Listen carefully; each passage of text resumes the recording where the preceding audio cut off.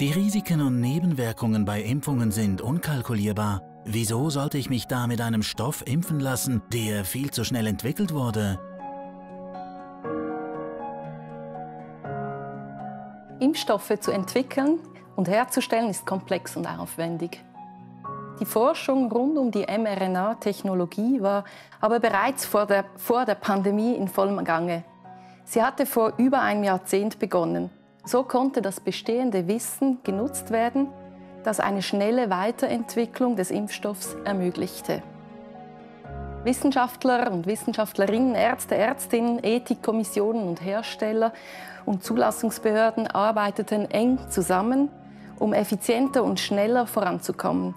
Man konnte so Prozesse parallel und nicht wie üblich nacheinander laufen lassen und administrative Vorgänge schneller abwickeln, ohne Einbußen bei der Qualität und Sicherheit.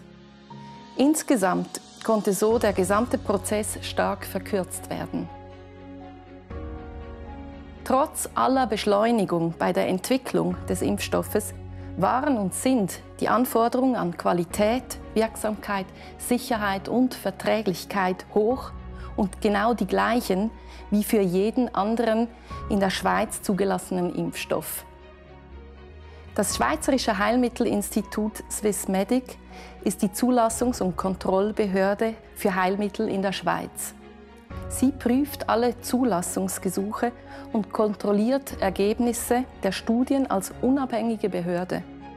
Alle in der Schweiz zugelassenen und empfohlenen Covid-Impfstoffe haben ein starkes Sicherheitsprofil und eine hohe Wirksamkeit und werden während ihrer Verwendung weiterhin streng überwacht.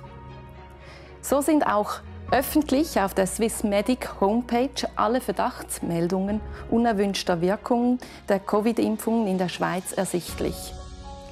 So erkennt man auch, dass die Nebenwirkungen der Impfung im Vergleich zu den Komplikationen der Covid-Erkrankung bedeutend kleiner und milder sind.